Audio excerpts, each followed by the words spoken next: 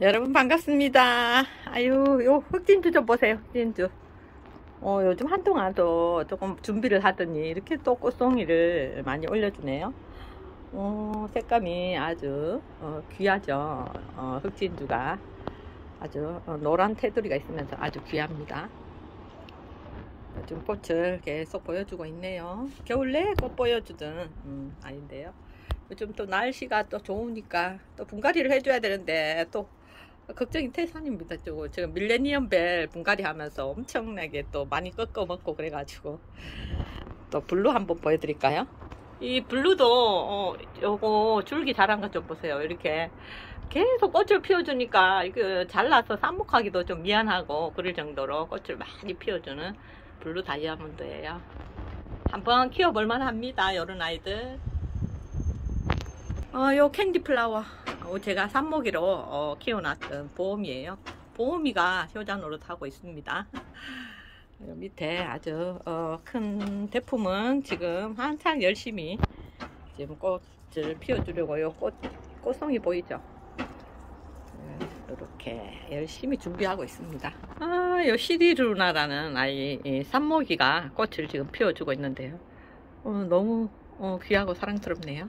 어, 이 아이는 땅콩 사랑초예요. 제가 커피컵에서 한 뿌리 키우고 있는데 아, 이제 꽃을 이렇게 보여주고 있답니다. 이 땅콩 사랑초가 끊임없이 꽃을 보여줘서 어, 우리들에게 꽃 키우는 분들에게 기쁨을 주는 그런 순둥한 아이예요. 요 아이비 제라늄 음, 색, 꽃 색감이 조금 음, 약간 진분홍이라고 할까요? 색감이 조금 독특하고 예쁘죠. 여기 꽃봉오리에 보면 털이 보송보송하니 지금 꽃을 엄청 달아주고 있습니다. 꽃송이 달고 있는 거 보세요. 아유, 예뻐요. 아, 제가 오랜만에 제가 꽃 얘기로 먼저 시작했는데요. 오랜만에 요 아이 다육이 분갈이 한번 해볼게요. 어제 저녁에 또 제라늄 산모기들 또 창틀 위에 꽃 햇빛 더 보여주려고 하다가 이거를 퍽 엎어서 흙이 다 쏟아졌죠. 쏟아져서 어떻게 되겠어요? 그 아래 있는 다육이들, 창들 얼굴에 쏟아져서 어떻게 했겠어요?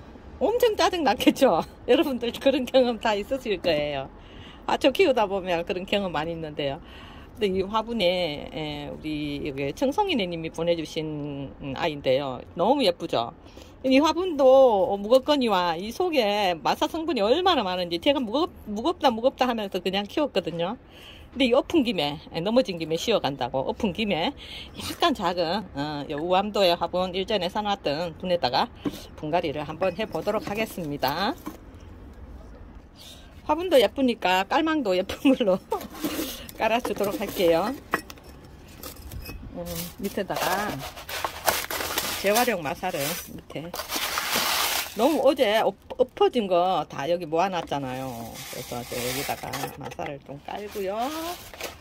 그리고 어, 이거는 그 다육이 전용토예요. 보통 일반적인 매장에서 파는 다육이 전용토에 제가 뭐 몇 가지 뭐 보통 저희가 화분 화초 키울 때나 아, 늘 섞어서 쓰는 계피가루 조금 섞여 있습니다. 거기에 여러분들도 많이 쓰지 않을 것 같으면 저같이 베란다에서 조금 자그마한 분을 쓰시는 분들은 이런 거 사서 어, 쓰셔도 더 편리하고 좋을 것 같아요. 막 크게 뭐 이것저것 사다가 또 섞어서 어, 심는다고 막 신경 쓰는 것보다 뭐 비율 따지고 할 거 없이 그냥 여기에 좀 더 키우고 싶다 하면 음, 여기다 상토를 조금 더 섞고요.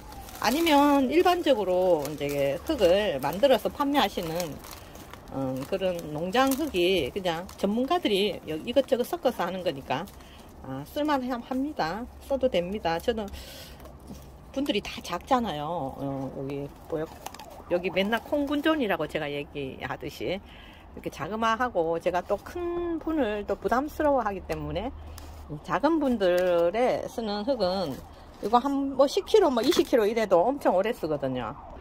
뭐, 뭐, 흙 이것저것 사다 보면 또 그냥 몇만 원 후딱 가요. 그래, 그러게 신경 쓰니, 뭐, 이렇게 배 앞에서, 어, 농장에 어, 그 흙들은 자기만의 노하우가 다 있잖아요. 그래서, 어, 그런 거 사서 써도 괜찮은 것 같아요. 전 늘 그런 식으로 하고 있거든요. 흙이 떨어졌을 때만, 뭐, 집에 있는 거, 뭐, 보통 우리가 일반적인 그 다육이들은 뭐 상토 비율을 한 30% 저희 30% 미만으로 써주면 무난해요. 덜 우짜라고요. 어, 그 대신 분에 분을 크게 쓰시면 좀 우짜람이 있다고 봐야 되겠죠.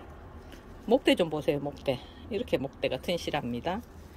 어, 둘이 나란히 살던 아이라 그냥 나란히 예, 살게 그대로 여기 뿌리 정리를 하겠습니다. 얘가 저 새뿌리가 이렇게 많이 나왔죠. 어, 이럴 때는 이 묵은 뿌리들 좀 정리해주고 새뿌리를 받는 것이 이 아이들에게 청춘을 돌려주는 방법입니다. 어떤 때는 여기 목을 이렇게 목대를 잘라서 어, 말렸다 신기도 하는데요. 이 정도만 해도 아마 새뿌리 내려서 잘 엎은 것 같아요. 제가 보면 예, 뿌리 상태나 예, 이 아이들이 오래돼서 이제 뿌리가 상태가 안 좋으면 음, 오래 이게 묵동이라고 다 좋은 게 아니거든요. 예, 사람도 늙듯이 다육이도 늙어요. 청춘을 적당한 청춘을 데리고 와서 어, 키워주는 것도 어, 좋은 것 같아요. 음, 화분 예쁘죠? 여기다 여기 하면은 크게 부담 없이 제가 키울 수 있을 것 같아요.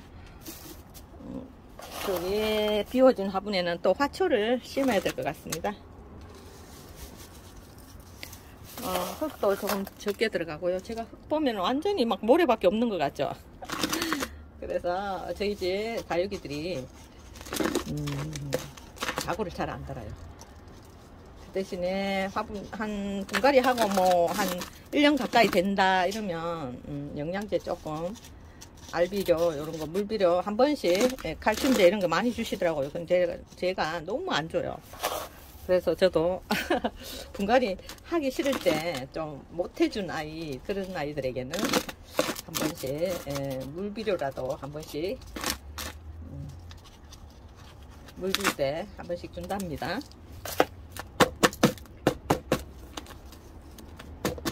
이렇게 일본에도 어울리는 것 같아요. 제가 해놓고 제가 어울린다고 합니다. 여기 마감 마스터는 좀 넉넉히 해주는 게 좋은데요. 제가 흙을 너무 많이 담았죠. 그래서 마감 마스터는 폼으로 잠깐만 마감 마스터는 확실히 깨끗하고 또 아이들 이게 분갈이 해놓으면 뿌리를 눌러주는 안정감을 주는 그런 역할도 하거든요. 마감 마사토가. 그래서 이렇게 간단하게 오늘 오랜만에 분갈이 영상 하나 찍어봤습니다. 아, 예쁘죠? 예쁩니까? 예, 이렇게 오늘 분갈이 했고요. 여러분들 이제 분갈이 할 분들은 빨리빨리 해가지고 어, 더 안정화 시켜서 여름을 맞이해야 될 것 같아요. 뿌리가 아, 덜 활착이 된 상태에서 여름을 맞이하면 습하죠. 어, 날씨가 너무 습하면 뿌리가 식, 썩기가 쉽겠죠. 그러니까 빨리빨리 얼른 얼른 어, 분갈이 할 건 해서 어, 뿌리 활짝 잘 돼서 여러분을 맞이해야 될 것 같아요. 그리고 뿌리를 제가 좀 일부 잘랐잖아요. 일부 잘랐으니까 천물을 한 보통 분갈이 하고는 한 뭐 4, 5일 후에 물을 주는 경우가 많죠.